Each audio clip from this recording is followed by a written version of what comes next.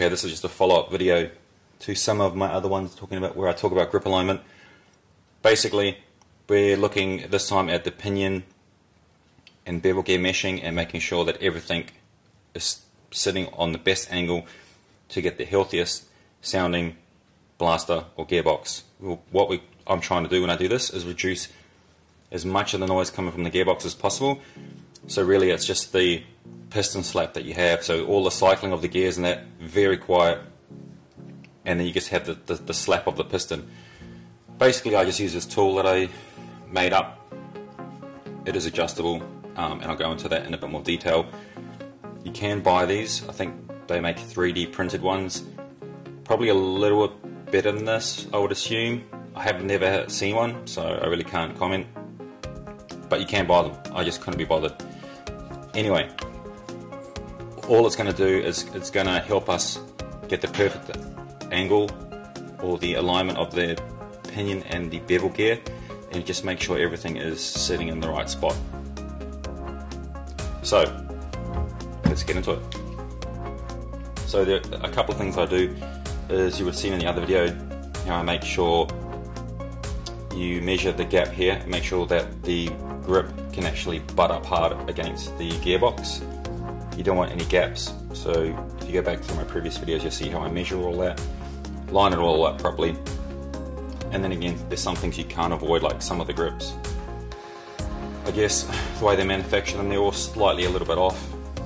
Uh, whereas when you buy high quality gearbox like that, we know from the machining process and from the quality control that comes out of, uh, like say MK Tactical, that is always exactly the same.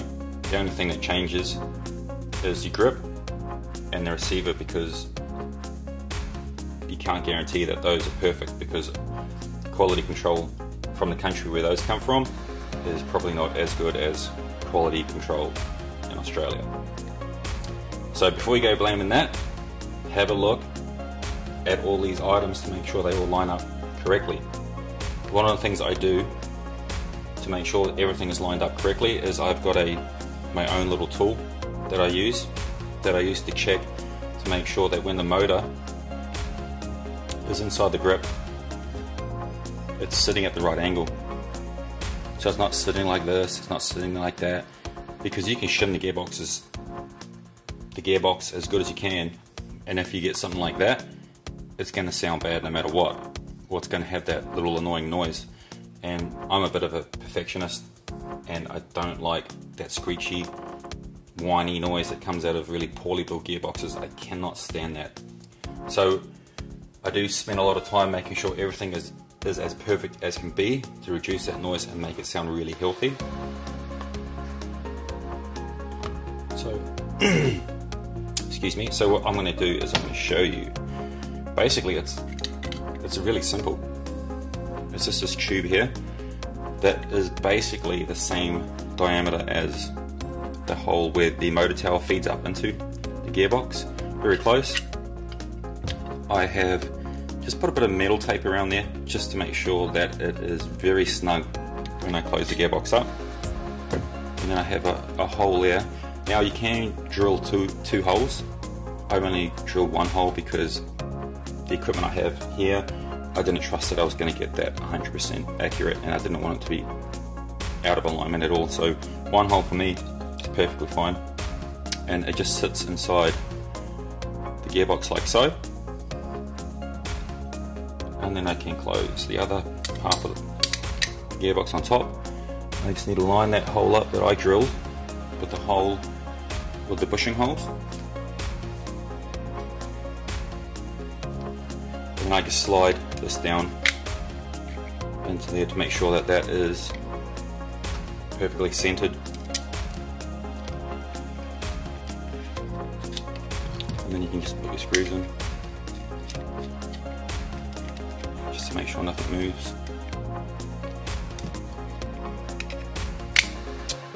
that basically goes in there to make sure that alignment is perfect.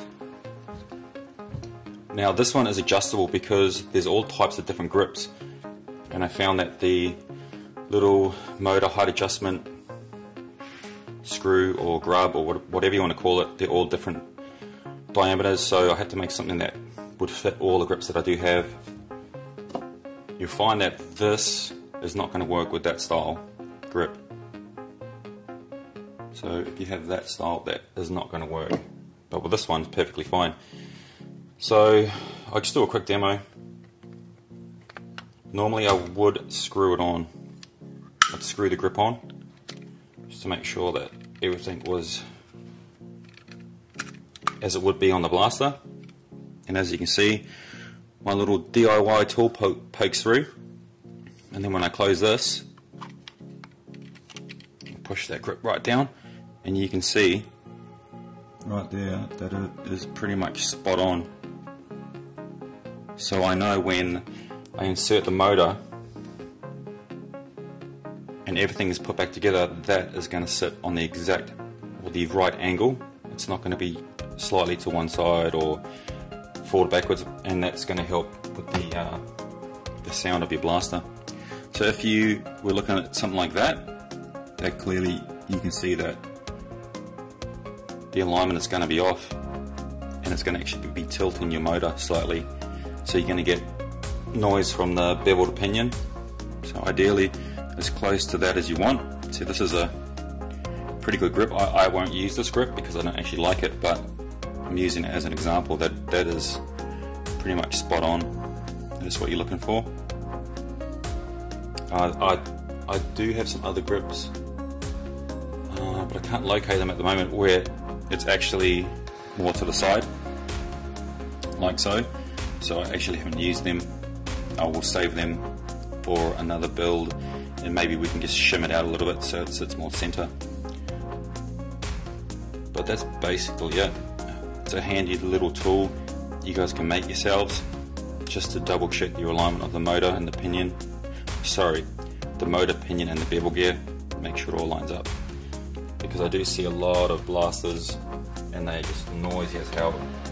Whereas if you do something like this and spend a little bit of extra time, you can reduce that sound by quite significantly and have a really nice crisp blaster.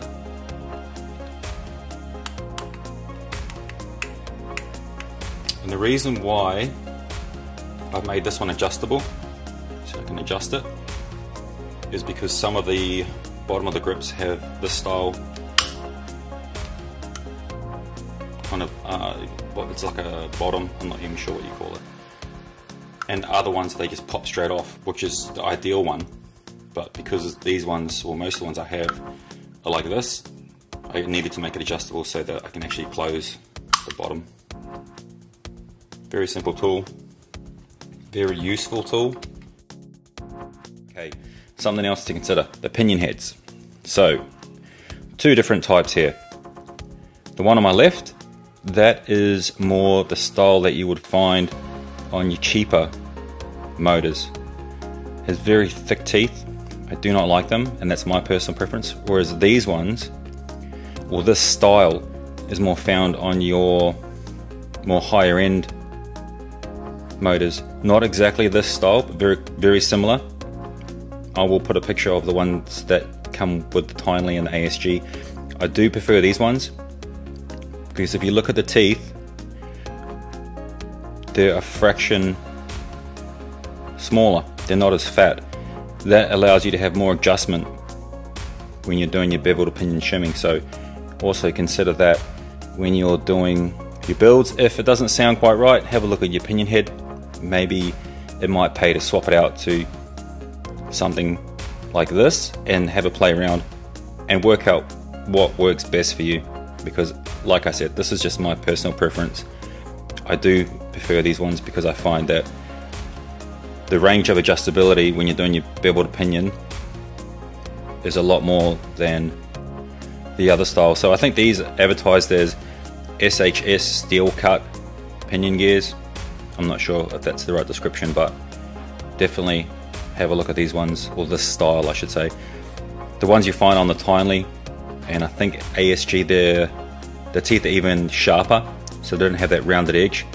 They've got quite a sharp edge, and those are my preferred pinion gears. Anyway, something for you guys to think about. Anyway, I hope that helps uh, somebody. That's pretty much it.